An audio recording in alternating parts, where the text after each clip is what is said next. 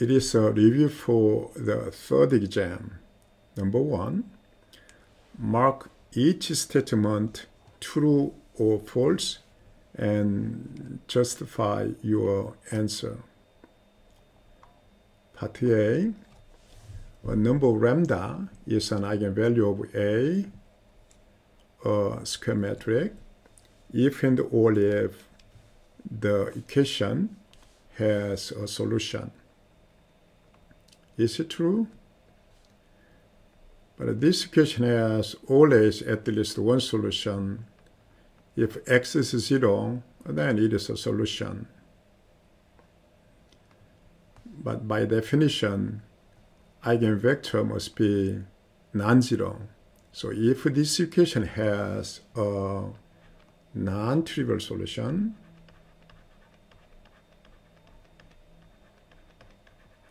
then this statement is true. So the given uh, statement is false. Okay. Let a square matrix U satisfy U squared equals identity, then each eigenvalue U has length 1. To solve uh, such problem, you have to start with the definition. Mathematics always start with uh, definition. Here, for an eigenvalue of u, we may use a notation lambda, which means that here u uh, x equal lambda x for some non-zero vector, right? Now we have to use this uh, information. We need u squared. So we multiply the u both sides. Then that is u squared x equal u lambda x. Now lambda will go out and ux is the same as lambda x. So the lambda, lambda x, which is same as lambda squared x. But this one, u squared this identity so that it is the same as x. So we can get here x is now lambda squared x. We know x is non-zero. That implies lambda squared must be 1. And then we can conclude the absolute value of lambda equals 1. So that is true. T T, a square matrix, is a symmetric stochastic matrix. Then the all ones vector is an eigenvector of T. What is the stochastic matrix? Once T is given, then the entries must be non-negative and each column has sum 1. That is uh, a stochastic matrix. Now, symmetric means that each column will appear as a row. That means the because the each column has a sum 1, now each row has sum 1. Now if you multiply here, uh, all ones vector, every is 1, then this row and this column dot product will make 1 because uh, the summation of each row is 1 so that every uh, 1 like that. Uh, it means that all always vector is an eigenvector of the matrix. So that's again true. Okay, this is true. And now this one is also true. For an m by m matrix A, vectors in a row space of A are orthogonal to vectors in the null space of A you may think this problem somewhat uh, geometrically. Okay, now matrix A, that is A.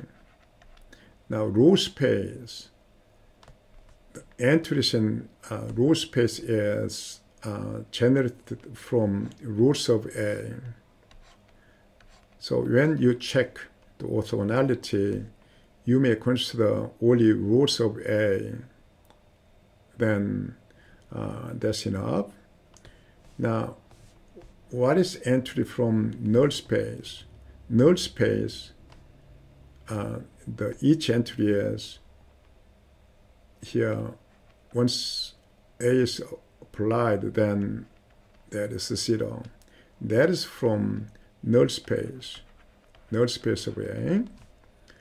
And now already here row and this column product must be zero. And two for this vector to be in the null space uh, so that uh, eventually the row each row row and this vector from null space the dot product is zero. That means that here rows are orthogonal to vectors in the null space. So that is true. Okay, that's true. Diagonalize the following matrix if possible. For uh, this problem, you have to find P and D such that A can be expressed as P, D, P inverse. And P is collection of eigenvectors, and D is diagonal matrix of the eigenvalues. And when A has three, this is a 30 by 30 matrix, so three linear independent eigenvectors, then it is diagonalizable. Okay? So we have to uh, try to find eigenvalues and eigenvectors. A minus lambda i, that is now 3 minus lambda, 0, 0, and 0, 2 minus lambda, 0, 1, 0, 2 minus lambda. If we take the determinant, then we can expand and along with this first row then this quantity 30 minus lambda okay that is here. Times determinant of this submatrix right? so that is the same as now 2 minus lambda squared. That's it because these two are zeros. So that is the characteristic polynomial and we have to solve this one. That means uh, lambda is now 3 and 2 and 2 okay. Now when lambda is 3 then a minus lambda i we subtract 3 along the diagonal then there is 0 0 0 that is now 0 minus 1 0 and 0 no is 1 1 0 minus 1 okay we have to find um, a vector x such that the product is 0 right? Now we have to solve the problem by using elementary row operations okay, from this one rather than augmented one because in augmented matrix just zero column is added so we ignore that from this one here along with uh, row change interchange 1 0 minus 1 and scale and 0, 0, 0. Okay. Now this is the reduced echelon form. Uh, that means here um, x1, x2 are basic variables and x3 is a free variable. This means x3 is, uh, x1 is x3, x2 is 0.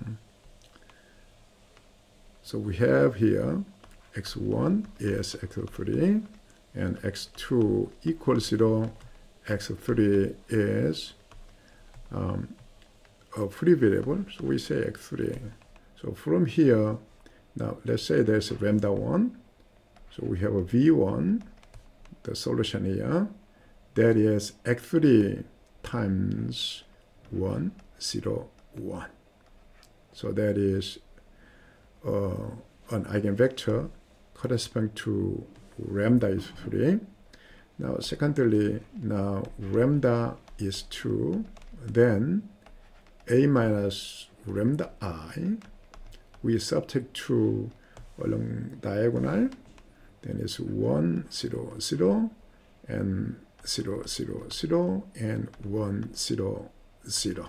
Okay, again, we have to find the x such that here multiplication is 0. Now again, using elementary row operations for the augmented matrix, we reach it here. Just simply eliminate that portion. That's it for the reduced ratio form so that here that means x1 equals 0 x2 is a free variable and x3 is, is also another free variable. So from here we can get, okay, we'll write down here, x is now along with x2 we have x2 and uh, 0, 1, 0 and plus x along with x3 that is 0, 0, 1. So we have two linearly independent eigenvectors for lambda is 2. So we can say uh, that one is now V2, this one is V3. So from this computation, now we can form P and D. P is collection of these eigenvectors from here. 1, 0, 1, now we, you can put um, either one first, 0, 1, 0 and 0, 0, 1. That's a P and D is diagonal uh, matrix with uh, the, the same order, 4, 7, 3. For second and third eigenvectors, uh, the eigen um, value is 2. Okay, so that is P and D, and with this, uh, it'll be satisfied. Okay. Consider the initial value problem. Here we have uh, a dynamical system. Let's try to solve the problem with this initial value. Now the system can be written in this way that is x prime equal the 2 by 2 matrix collection of the coefficients uh, 3 minus 3 minus 4 and 2 and x. Of course here x is has two component x1 and x2 right? Now for the solution uh, we have to find the eigenvalues and eigenvectors here, if we say this is A, then A minus lambda I, 3 minus lambda, minus 3, minus 4, 2 minus lambda. So its determinant. Is the same as that is uh, lambda minus 3 and lambda minus 2 and here minus 12 that is lambda squared and minus 5 lambda plus 6 minus 12, so that minus 6. We have to solve this equation. So here we have separation, 6 and 1, and minus and plus. So we have two eigenvalues, lambda equal minus, okay, not minus, that is 6 and minus 1. So we have two eigenvalues. When lambda is 6, then a minus uh, lambda i, 6 must be subtracted from this matrix along diagonal, then minus 3 and minus 3 and minus 4 and minus 4. We have to find the eigenvector as a solution of this matrix times x equals 0. We can easily find the, the vector. So that is the vector. Let's say that is v1, lambda 1. Okay, v1 must be here 1n minus 1. 1n minus 1. Right? Now for lambda 2, which is minus 1, now a minus lambda i, we add 1 along the diagonal. Yeah. So that is 4. Uh, okay, that is 4 along the diagonal we uh, add 1 4 and minus 3 and then this is now minus 4 and mm, 3 again we have to find the solution and this matrix times x equals 0 so we can easily choose uh, x we name it v2 which is now, if we choose here 3 and 4, then uh, that's it, right? So the general solution is formed in this way. x of t is c1, now the vector, eigenvector, 1 and minus 1, e to the, the eigenvalue is 6, 6t plus. Now C2, the eigenvector, 3 and 4, and e to the eigenvalue is minus 1, so that minus t. So that is the uh, general solution. Now we have to decide the C1 and C2 by using the initial value. Okay, here x0 equals now that'll be 1, that'll be 1. So that that is same as now, okay, C1, 1 and minus 1, and plus uh, C2, the vector is 3 and 4. That must be same as 2 and 5. To find the C1 C2, we may try to solve the uh, metrication. Okay, that is 1 and minus 1, and 3 and 4.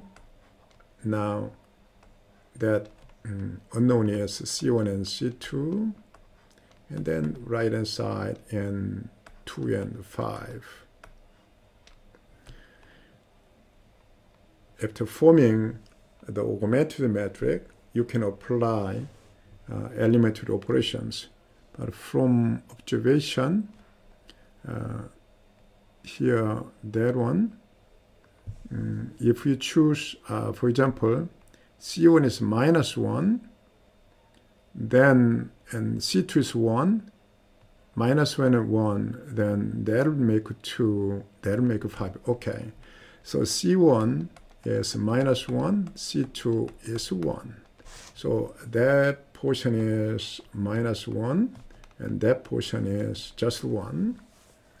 Uh, so that's the answer for part A.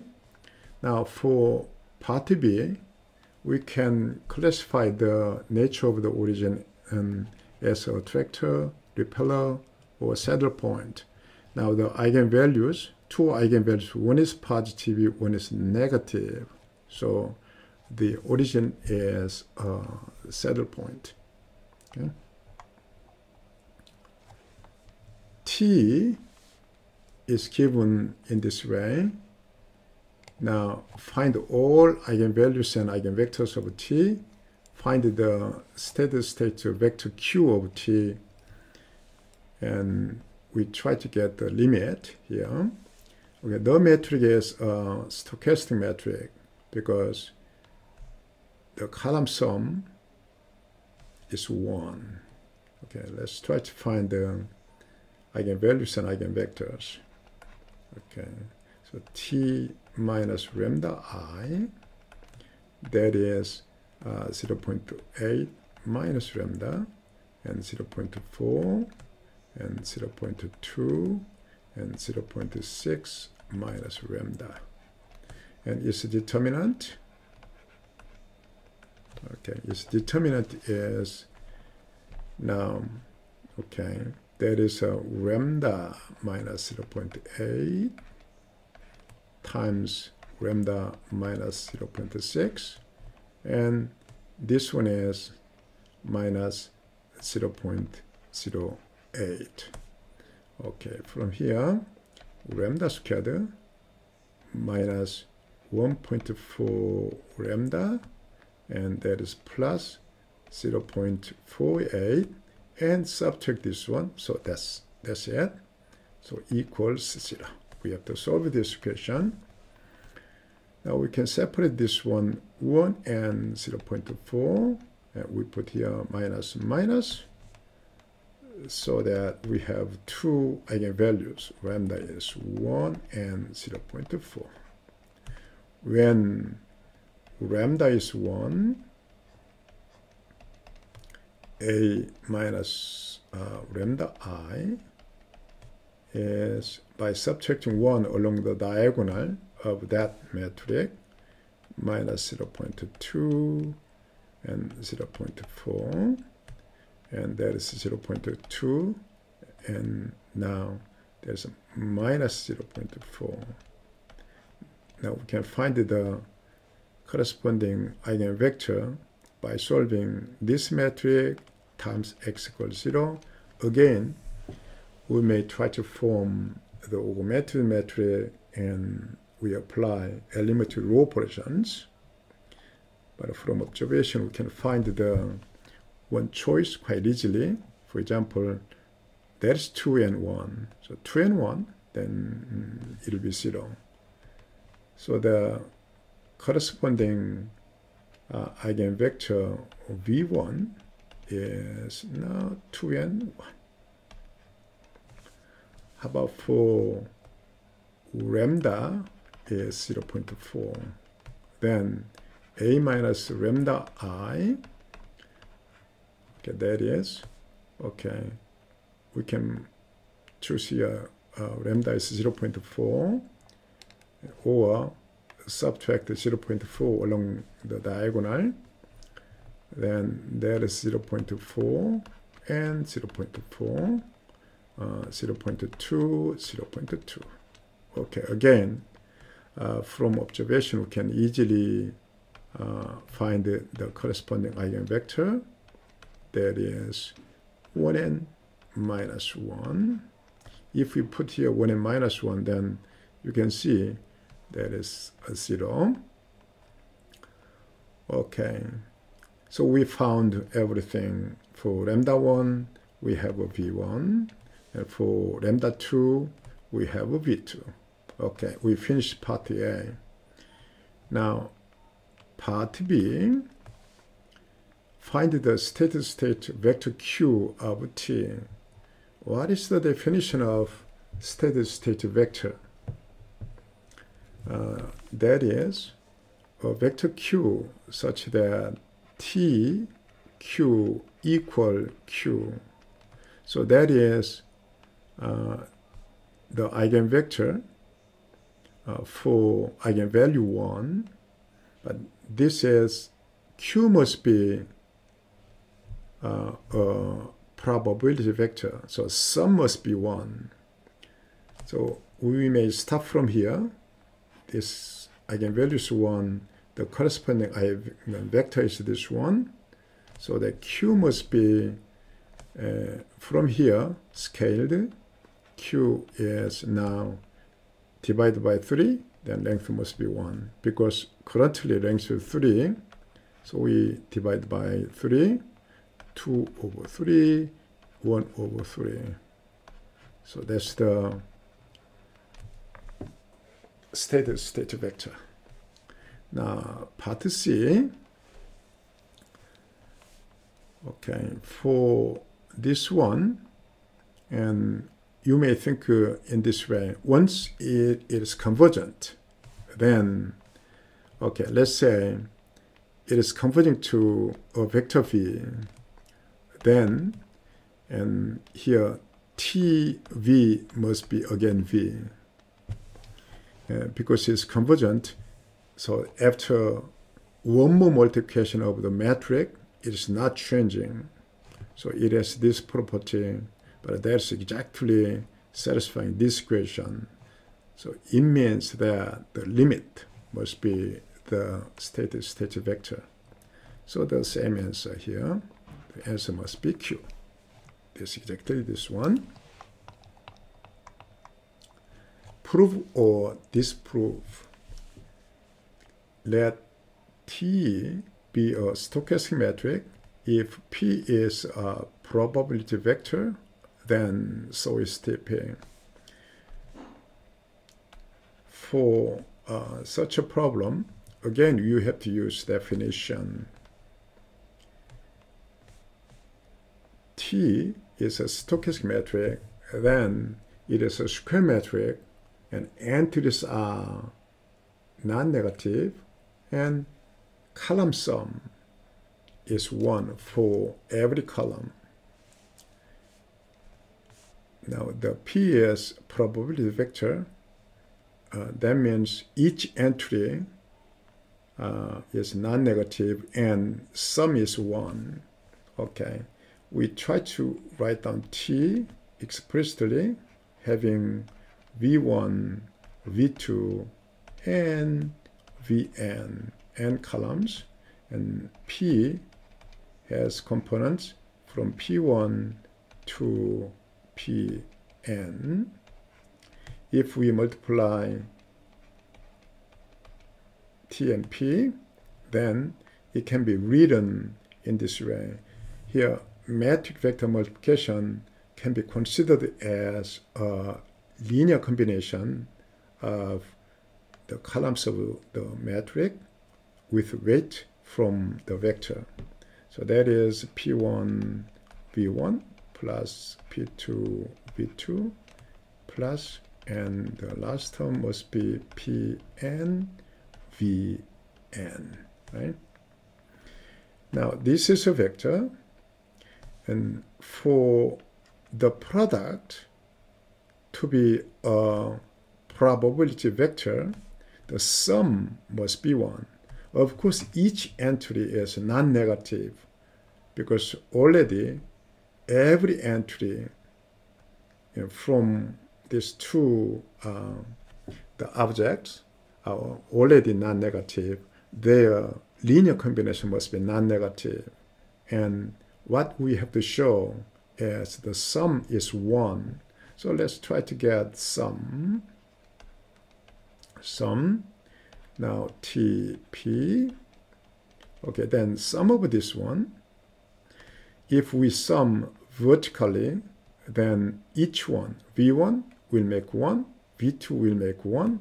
Again, for every vector, vertical summation will make 1 so that it becomes P1 plus P2 plus now the last one is Pn. But from the beginning, sum is 1, so that that's 1, which means the product is a probability vector. So we finish the proof. Now for part B, A is an m by m matrix and X is in null space of A then X is uh, the column space of A perpendicular. That means that X is perpendicular to column space. Okay. Here, let's consider some geometric. So by using matrix, we try to see geometrically. Now A is given. Now X is in null space of A means that once X is multiplied through this one, then for each row, dot product, rows of A and dot product with X must be zero. That is here X is in null space A. So for every row, just product is zero, then X is in null space A. Now, and this means that for each column, X is uh, um, the multiplied, then is zero. So for that means here each column and here x dot product uh, must be zero. Once it is given, then that is now may not be true. And this one and that one is quite independent. So if you try to prove this one, then it's wrong. And so you may start with uh, uh, the answer. It must be false and you should try to disprove. In order to do that, you may uh, find a, a counterexample. Okay, so simply we start with um, 2 by 2 matrix. That is now A and here X. Let's choose simply 1 and 1.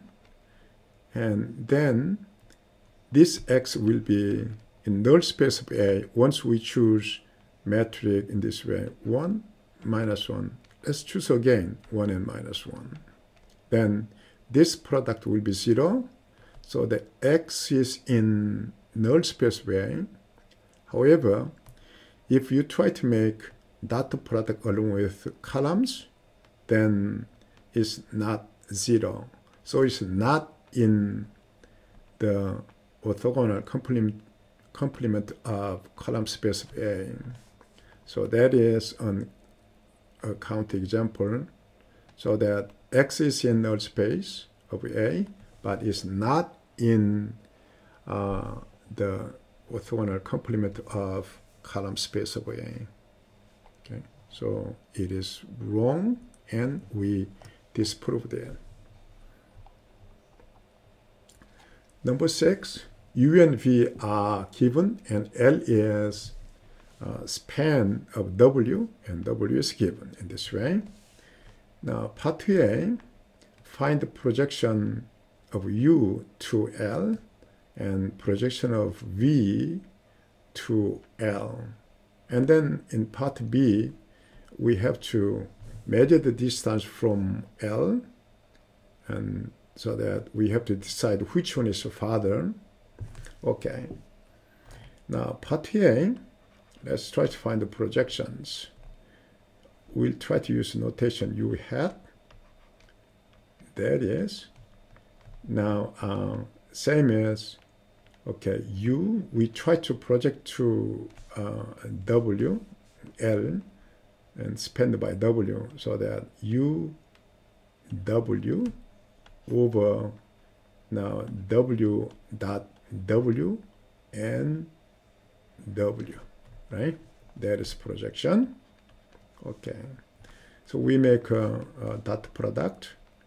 There's 8 plus 12 and divide by, okay, w dot w is 10 and w. So that is 2w, which is here 2 and 6. How about v hat? which is v dot w over w dot w and w.